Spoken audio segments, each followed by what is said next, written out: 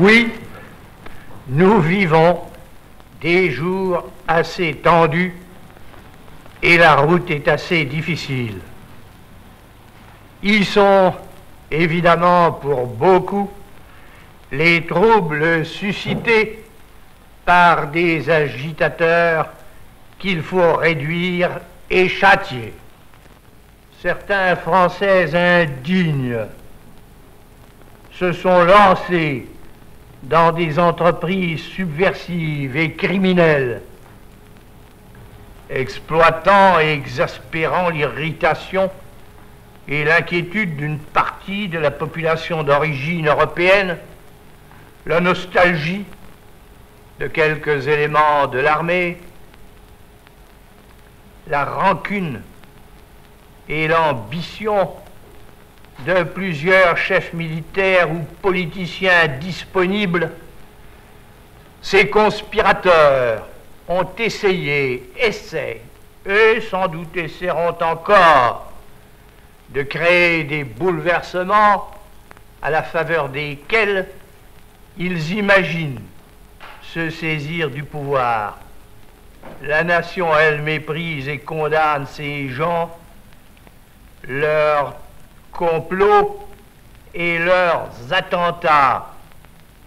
Leur destin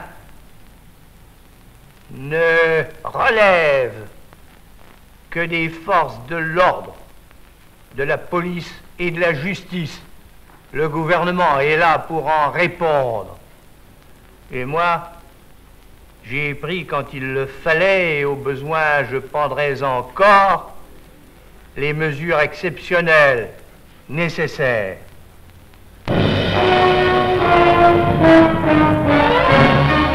À Gassitwil, Red Adair et ses pompiers du pétrole ont mené à bien la première étape de leurs travaux pour éteindre le puissant jet de gaz qui brûle dans le désert.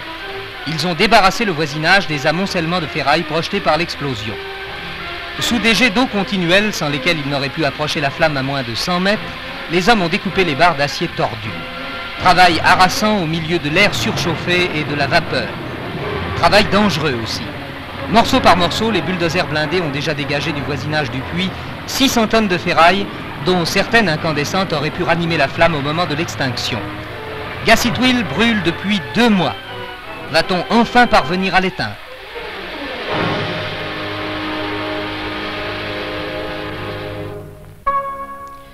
C'est un événement historique qu'on a célébré à la cathédrale de Coutances en suspendant un pendule au sommet de la tour que Vauban admirait.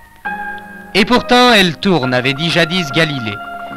Mais pour démontrer pratiquement la rotation de la Terre, il avait fallu attendre l'expérience qu'au siècle dernier, en 1852, Léon Foucault avait présentée sous le dôme du Panthéon. C'est l'expérience du pendule de Foucault qu'on vient de réitérer à Coutances. Et une très docte assistance à regarder le stylet du pendule entamer un peu plus à chaque oscillation les deux talus de farine disposés face à face. De deux choses l'une, expliquait déjà Foucault. Ou bien c'est le plan d'oscillation du pendule qui tourne, ou bien c'est la cathédrale.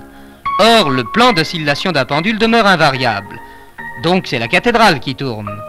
Donc la Terre. Ce qu'il fallait démontrer.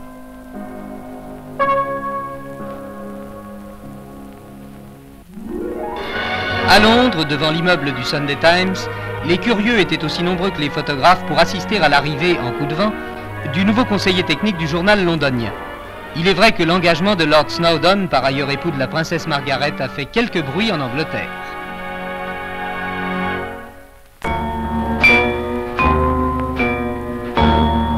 Place Vendôme, ceux qui aiment les élans tourmentés du sculpteur Zatkin peuvent aujourd'hui découvrir un Zatkin tapissier. Onze tapisseries tissées à Aubusson, tirées de gouache ou de dessin, illustrent cette nouvelle vocation d'un talent depuis longtemps affirmé dans les trois dimensions. Zapkin tapissier, ce sera une nouvelle arabesque de sa carrière artistique. Et l'on pourra suivre de la statue à la tapisserie la continuité d'une inspiration très singulière.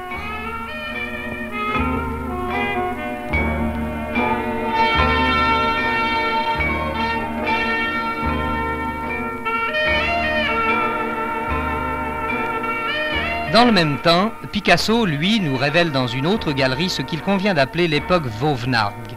Ce sont là les peintures récentes de 59 à 61 toutes datées de son château provençal. Certains y trouveront le rappel de motifs chers au Picasso de 1925, et d'aucuns s'attristeront peut-être de trouver dans ces toiles des concessions au figuratif. En tout cas, un nouvel aspect de Picasso.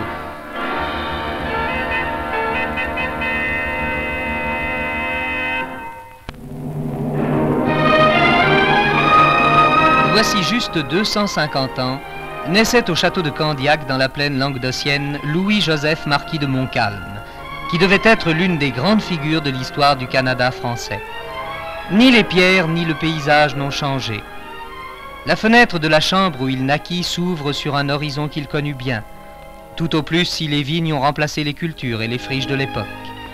Ces larges espaces, il les parcourut sous le soleil avec les galopins de son village, et du petit bois où il joua enfant, l'ombrage est toujours le même si les arbres ont été remplacés.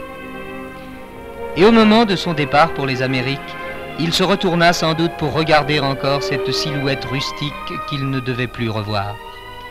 Et ce fut la grande aventure.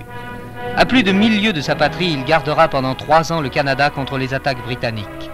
Paris le laisse à peu près sans renfort et sans secours, et il finit, malgré des victoires retentissantes, par être acculé dans Québec, où il s'enferme, et qu'il va défendre malgré l'infériorité de ses forces.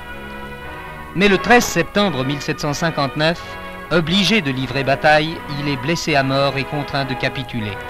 Il meurt le lendemain en même temps que son antagoniste, le général Wolfe, commandant les troupes anglaises. Québec a d'ailleurs élevé un monument commun à ces deux nobles adversaires. Québec parle toujours de Montcalm, et sur la terrasse de la citadelle qui domine le Saint-Laurent, Québec évoque encore la ronde silencieuse de Montcalm aux dernières heures du siège.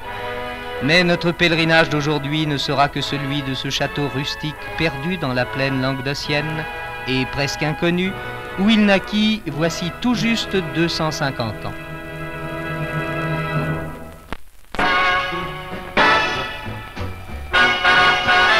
La normalisation qui a réuni en France des ingénieurs du monde entier est une notion moderne. La chose existait déjà pourtant dès l'époque des flèches de silex, et les Égyptiens inventant l'écriture normalisaient sans le savoir.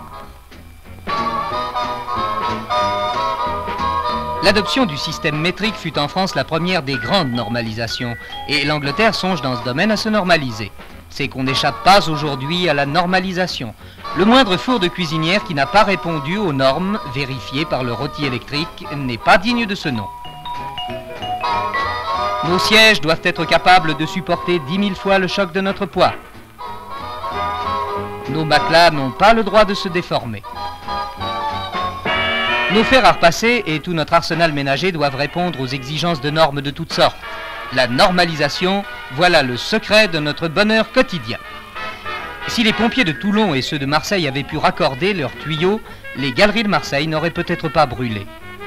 Plus simplement, qui ne s'est senti saisi de désespoir devant un tuyau à gaz parfaitement inadapté à la prise De tels problèmes n'existent plus avec la normalisation, dont les règles d'or sont simplification et efficacité, et dont le domaine s'étend de l'avion le plus moderne à l'harmonisation d'une bouche de poêle avec le charbon en sac calibré.